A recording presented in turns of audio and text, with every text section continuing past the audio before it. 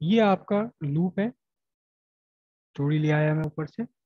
ये लूप और अभी हमने जो फाइंड किया था, वो मैग्नेटिक फ़ील्ड फाइंड किया था at the centre of loop इसके सेंटर पर।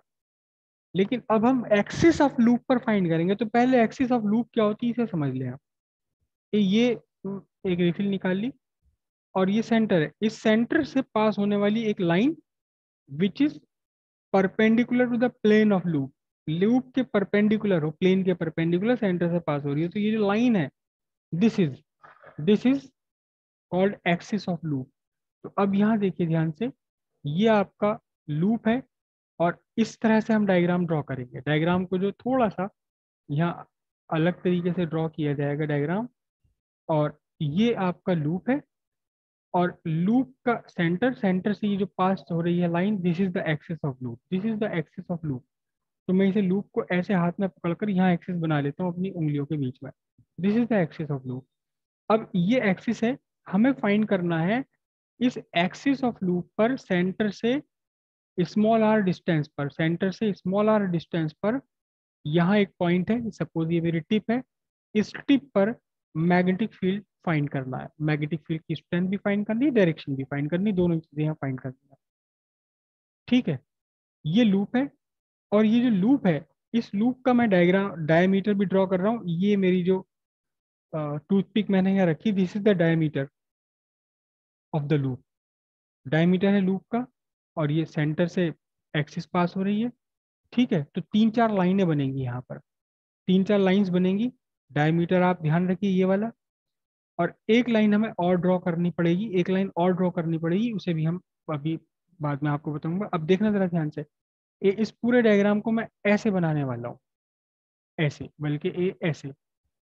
ए, ये तो होगा आपका डायमीटर इसका डायमीटर सर्किल का और ये आपकी लूप एक्सिस बन जाएगी। एक्सिस पर एक्सिस पर यहाँ सेंटर से स्मॉल आर डिस्टेंस पर हमें फाइंड करना है मैग्नेटिक फ़ील्ड और ये जो सर्किल की या लूप की जो रेडियस है इस रेडियस को हम लिखेंगे कैपिटल आर बहुत ध्यान से समझिएगा, ये भी एग्ज़ाम में कई बार आ चुकी है। ज़्यादा तो वो आई है जो अभी हमने इससे पहले की, लेकिन ये भी एग्ज़ाम में कई बार आ चुकी है।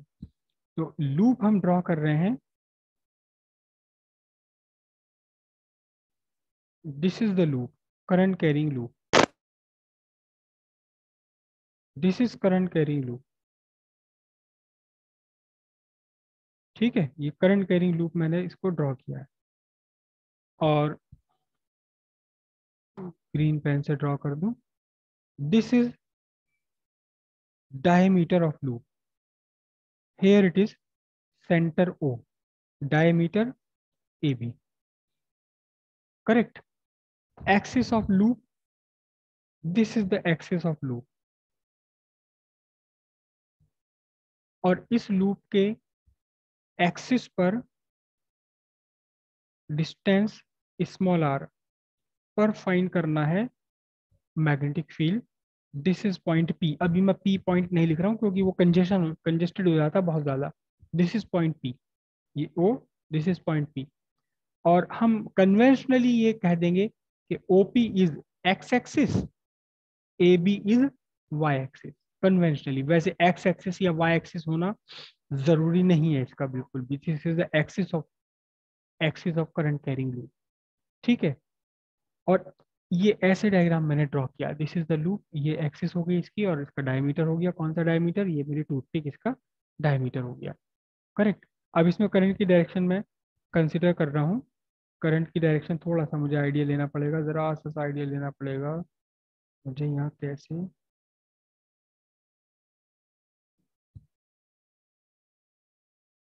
यहाँ करंट की डायरेक्शन में ऐसे ले रहा हूँ। This is the direction of current जो डायरेक्शन चल है। ठीक है? तो यहाँ जो पॉइंट ए है मेरा पॉइंट ए कौन सा देखो? पॉइंट ए कौन सा? जहाँ ये मैंने डायमीटर ड्रॉ किया है।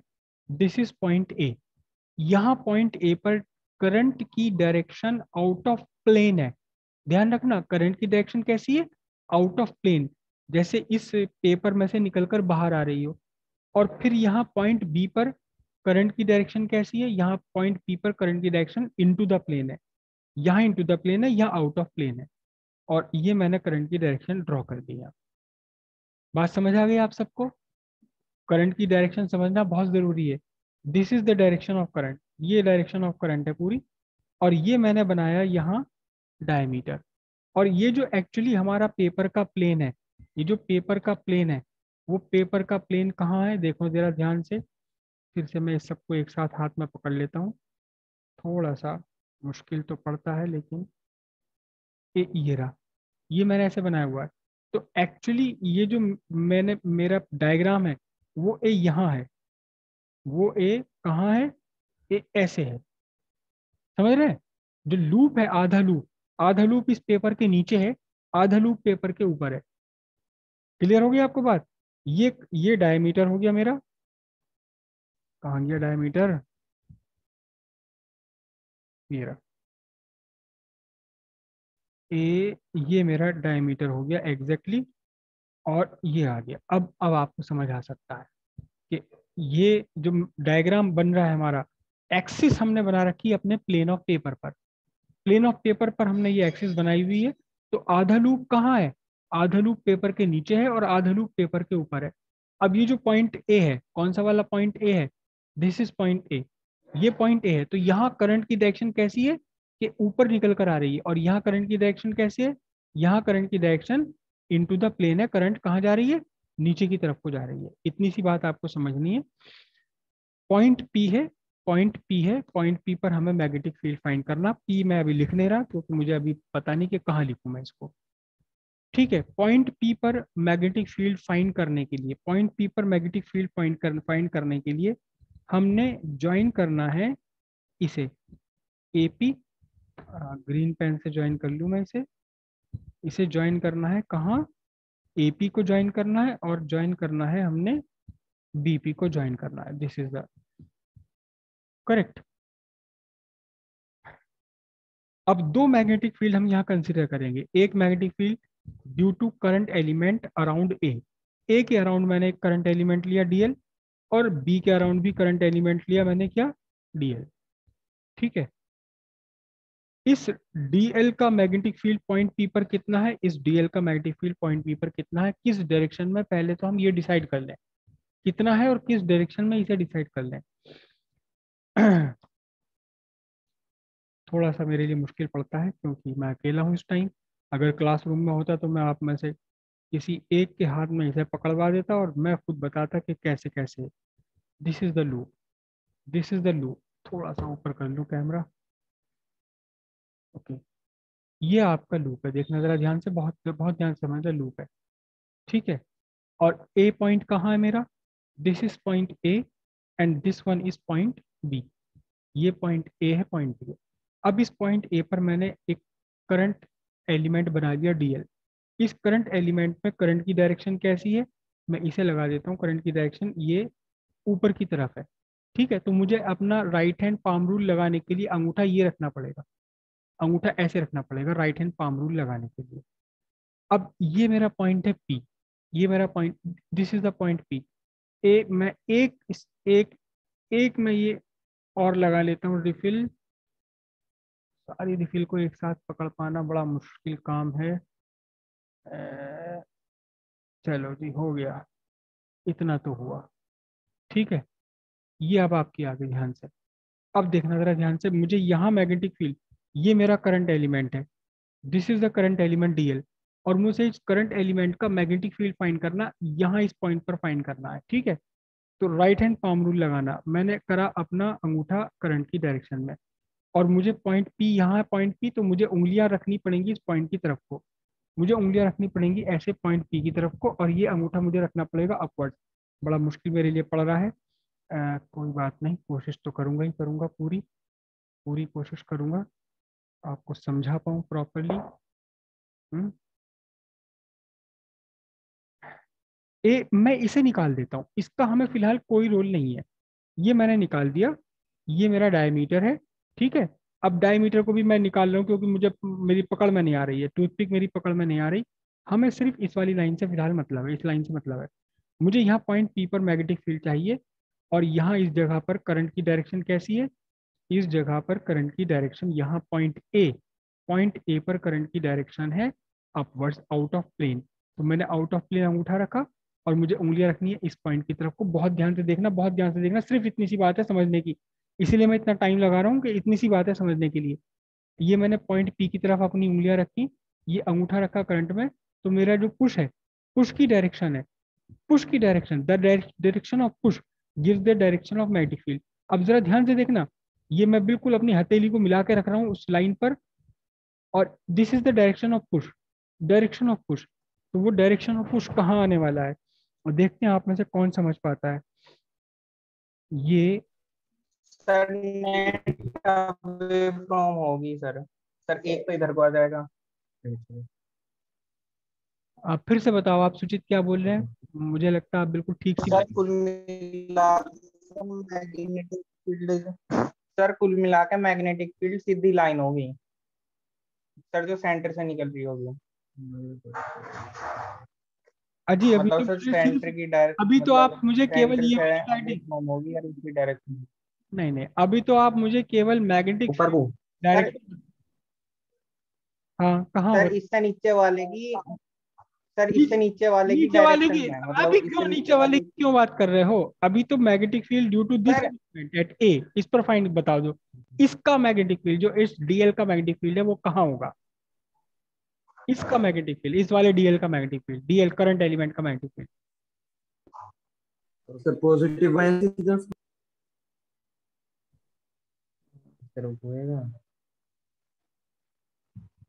चलो मैं बताई क्योंकि मुझे आपकी आवाज़ भी क्लियर नहीं आ रही है। सर हाँ? सर जिस डायरेक्शन में बी से पॉइंट उसे जोड़ रखा है जो भी पॉइंट है आर डिस्टेंस पे। हाँ हाँ। सर इससे अगर सीधी लाइन ड्रॉ कर दें। इस पे मैं सीधी लाइन ऐसे ड्रॉ कर डायरेक्शन में होगा। ऐसे ड्रॉ कर दूँ या इधर ड्रॉ कर दूँ? चलो मैं अलग से एक रफ डायग्राम ड्रॉ कर रहा हूँ देखो। सर ऊपर। ये ये मेरा लूप है है ना? ये मेरी एक्सिस है ये मेरा लूप है। तो मैं कैसे ड्रॉ करूँ? मैग्नेटिक फ़ील्ड की डायरेक्शन ए मैग्नेटिक फ़ील्ड की डायरेक्शन ये ड्रॉ करूँ? ऐसे है या मैं मैग्नेटिक फ़ील्ड की डायरेक्शन ड्रॉ करूँ? ये करूँ या ये करूँ? बता दो अच्छा बस इतने से बता दो। ऊपर सेकंड वाली? ये वाला ऊपर वाला। यस सर यस सर सब इस पर एग्री हैं? ये नहीं। एक्चुअली ना ये है ना ये बहुत ध्यान से समझो आप। वाली इनके बीच में कोई लाइन जाती हुई। चलो मुझे आपकी आवाज़ साफ़ नहीं आ रही क्योंकि नेटवर्क इशू है शायद। आपकी आवाज़ अजीब सी बन रही है। तो चलो मैं बता देता हूँ चलो ध्यान से। ए, अब जो मैग्नेटिक फ़ील्ड है पुश की डायरेक्शन इस ओपी लाइन के परपेंडिकुलर है। This is the magnetic field dB बहुत ध्यान से समझो। ये मैग्नेटिक फ़ील्ड परपेंडिकुलर है ओपी के परपेंडिकुलर ध्यान से देखो देखो, ये मेरी हथेली है और मैंने ऐसे लगाया। तो पुश कहाँ है मेरा? पुश ये रहा। पुश कहाँ है? इस ओपी ओपी के परपेंडिकुलर है। ओपी से राइट एंगल बना हुआ। This is the 90 degree OP से राइट एंगल बना हुआ है और मैं इसको डीएल नहीं सॉरी डीबी लिखूँगा इसको। ये मैग्नेटिक फ़ील्ड की डायरेक्शन आ गई और सिमिलरली जो मैग्नेटिक फ़ील्ड इस नीचे बी पॉइंट के अराउंड जो करंट एलिमेंट लिया, इसका मैग्नेटिक फ़ील्ड क्या होगा? इसका मैग्नेटिक फ़ील्ड होगा बीपी के परपेंडिकुलर और एग्जैक्टली exactly उतना ही होगा। एग्जैक्टली exactly उतना ही होगा। और बहुत सारी किताबों में ये डायग्राम गलत बना हुआ है। इसलिए जो डायग्राम मैं ड्रॉ कर रहा हूँ, इसे आप ध्यान से देखिए। बहुत सारी बुक्स में ये डायग्राम गलत बना हुआ है। ये आपका मैग्नेटिक फ़ील्ड आ गया। Magnetic field due to current element at A is perpendicular to AP. Magnetic field due to current element at B is perpendicular to BP.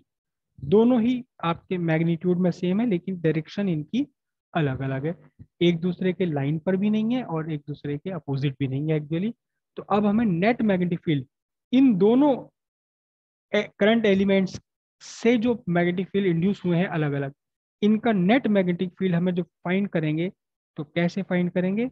DB और डीबी। एक्चुअली मैं इसको थोड़ा सा चेंज कर लेता हूँ। डीबी और डीबी डैश कर देता हूँ। मैं डीएल डैश कर देता हूँ डीबी डैश कर देता हूँ। जबकि न्यूमेरिकली मैग्नीट्यूड में दोनों इक्वल हैं। हमने इन्हें हमने इन्हें रिजॉल्व करना पड़ेगा।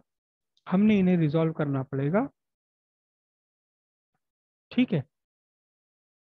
रिजॉल्व करना पड़ेगा इनटू टू कंपोनेंट्स और जब आप ये रिजोल्व करके बनाएँगे तो एक बहुत ही प्यारा ओरिजिनल कंपनी वाला रेक्टेंगल बनना चाहिए। ज़्यादातर बुक्स में ये रेक्टेंगल नहीं बना हुआ। एक बहुत ही बढ़िया, हालाँकि मुझसे भी अभी ओरिजिनल कंपनी वाला रेक्टेंगल नहीं बना।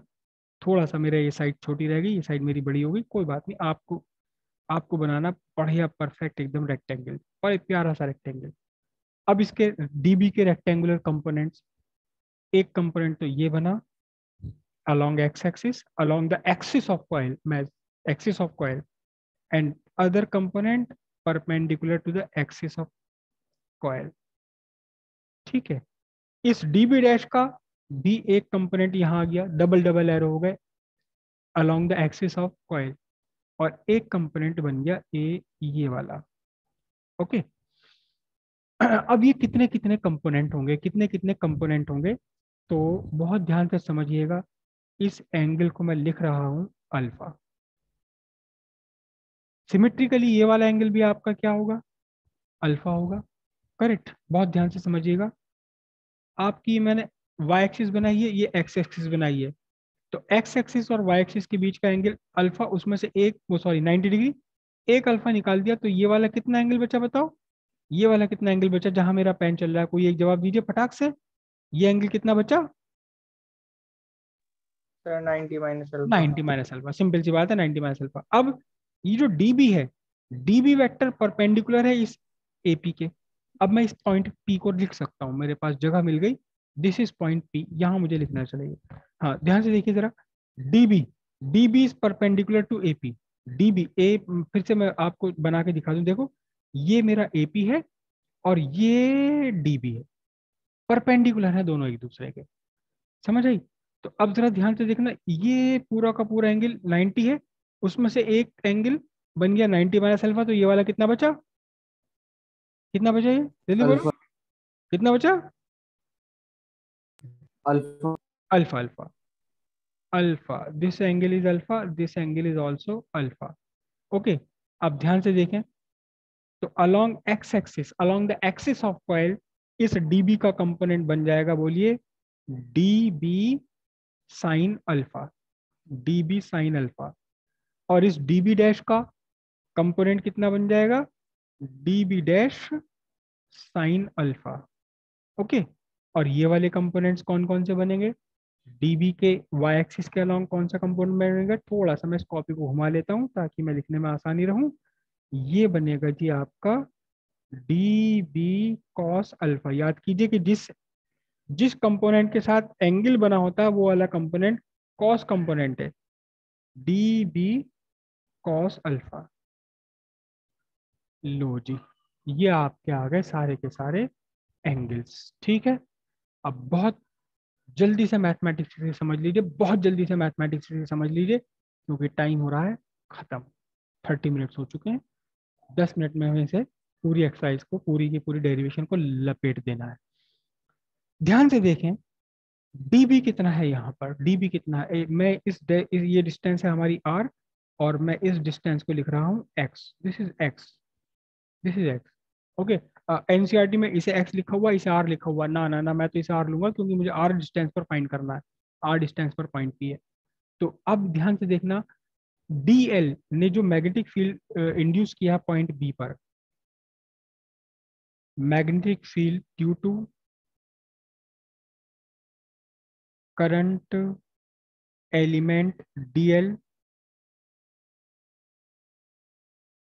around a db is equals to mu naught upon 4 pi mu naught upon 4 pi um, कितना बनेगा I D L upon X square sine अच्छा कौन मुझे बता सकता है साइन थीटा की वैल्यू क्या रखूँ मैं यहाँ?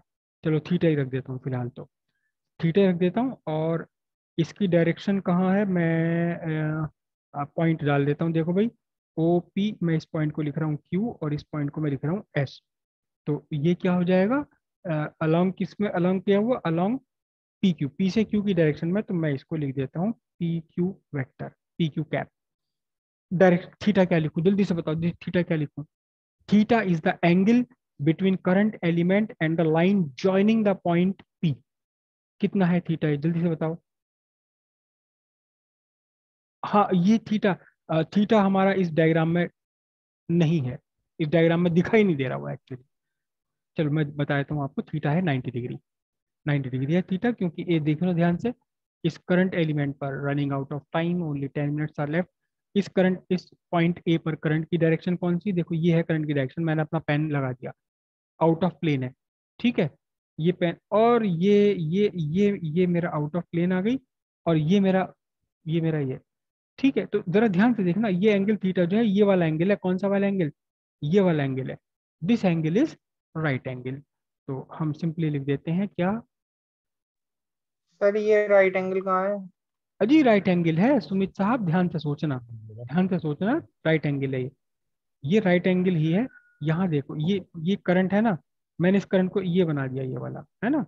ये करंट बना दिया मैंने यहाँ और ये मैंने ये लाइन ड्रॉ करी है। ये राइट एंगल है ये वाला राइट एंगल है यहाँ। आप यस सर यस सर तो हेयर थीटा इक्वल्स 90 डिग्री हम लिखते हैं स्पेसिफाई करते हैं इसको नॉट ड्रॉन इसे हमने ड्रॉ नहीं करा तो अब सीधे सीधे बात आपकी क्या आ गई? क्या आ गई? D B vector equals mu naught by four pi I D L by X square P Q cap P Q cap ठीक है? Similarly D B dash is equal to mu naught four pi I D L dash by X square लेकिन इसकी direction कौन सी होगी? इसकी direction है along P S तो मैं लिख देता हूँ इसको क्या? P S cap okay since D L equals D L dash है ना? Limit tends to DL limit DL and DL dash tends to zero दोनों इक्वल है। तो इसका मतलब न्यूमेरिकली डीबी और डीबी डैश दोनों आपके आपस में कैसे हैं? इक्वल है न्यूमेरिकली दोनों इनका मैग्नीट्यूड दोनों का सेम है। तो अब अब ध्यान से देखिए ध्यान से। अब हम क्या लिखेंगे? आ, हम लिखेंगे D B and D B dash when resolve along rectangular components D B cos theta D B cos alpha and D B D B cos alpha ये क्या है?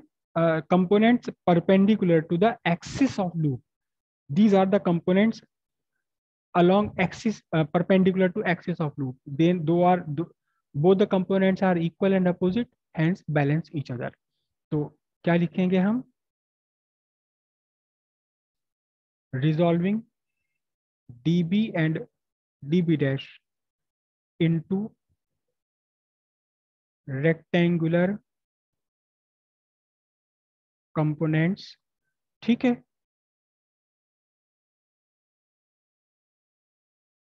The components along the components perpendicular to axis of loop being equal and opposite balance each other ठीक है and components along axis of loop being in the same direction get added up. कौन से वाले? जो axis perpendicular to axis of loop है, ये दोनों equal है अपोजिट है बैलेंस हो गए, लेकिन जो इन द डायरेक्शन जो अलोंग द एक्सिस हैं D B sine alpha D B dash sine alpha दोनों ऐड हो गए। तो अब ध्यान से देखना, ये अभी हमने लिया था एक डायमीटर एक डायमीटर डायमीट्रिकली अपोजिट पॉइंट्स अगर मैं इस ए बी के ए बी के बजाय, अगर मैं एक डायमीटर ऐसे ले लूँ तो उसके लिए भी यही कंडीशन बनेगी। अगर मैं एक डायमीटर ऐसे ले लूँ तो उसके लिए भी यही कंडीशन बनेगी। कोई से भी डायमीटर ले लीजिए। तो हम क्या लिखेंगे? हम हम लिखेंगे बस इतनी समझने की बात है, बाकी तो इसकी मैथमेटिक्स सिंपल है। For any two diametrically opposite points ठीक है? Components along OP get added up सारे कंपोनेंट जो dB along axis of loop है, ये सब एडिट अप हो जाएँगे। तो अब सिंपल सी बात है, बिल्कुल net magnetic field at B ठीक है?